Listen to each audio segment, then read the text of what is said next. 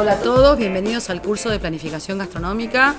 Mi nombre es Maju Basigalupo y seré la docente a cargo de este curso. En general, casi todos los hoteles, o muchos de los hoteles de la República Argentina,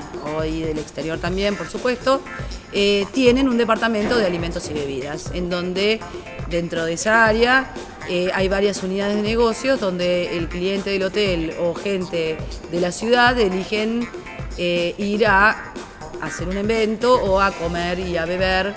eh, la propuesta que uno les haga. Eh, para poder eh,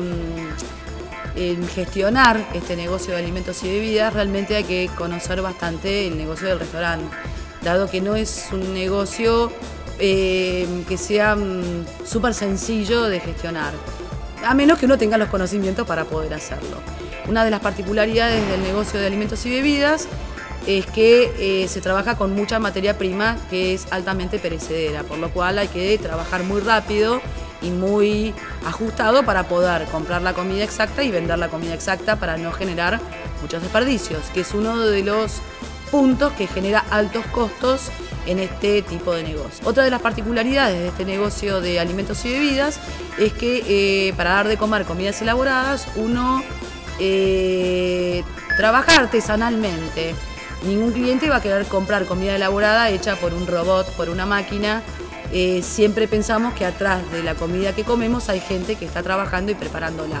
Por lo cual tiene eh, un tema con los costos de mano de obra. Es una línea de producción que es una sumatoria de personas que trabajan atrás, de, atrás del mostrador eh, concatenadamente para comprar materias primas, para producir materias primas y elaborar comidas y para servirle y atender al cliente en el salón. Por lo tanto,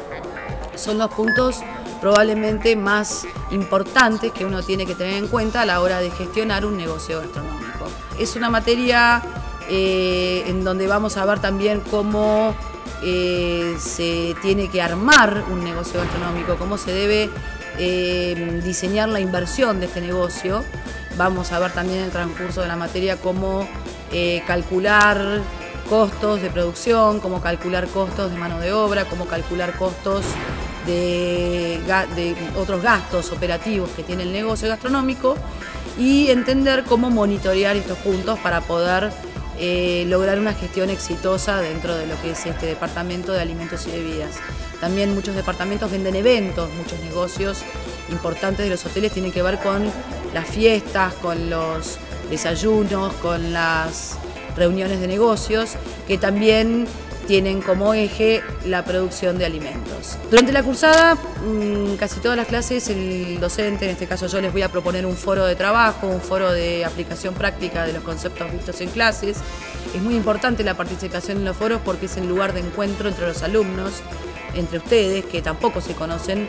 eh, durante la cursada. Y los invito a que hagan el esfuerzo y que participen en los foros porque es el momento en donde uno pone en juego el saber adquirido en la clase teórica. También yo voy proponiendo que vean diferentes videos que son eh, relativos al tema que se toca en esa clase, también es interesante verlo en la práctica, es una forma de presencializar lo virtual y finalmente eh, hay una instancia de examen, de examen final que es condición para aprobar esta materia que es un examen en donde, bueno, por primera vez nos vamos a conocer porque se realiza acá en la universidad o en la sede que les corresponda en, función del lugar en donde ustedes vivan para rendir este examen. Desde ya les agradezco mucho que estén del otro lado porque esto nos posibilita a nosotros estar de este y agradecerles y desearles una muy buena cursada, que no duden en preguntar. Eh, los que preguntan por mail también es importante, siempre es mejor preguntar por el foro porque en el foro todos conocemos la duda de uno, que es la duda de muchos, y es un lugar donde el docente también se puede explayar más para explicar diferentes aspectos que tengan que ver con esa duda puntual. Eh, muchas gracias por estar del otro lado y nos vemos en la instancia presencial que es en el examen. Saludos.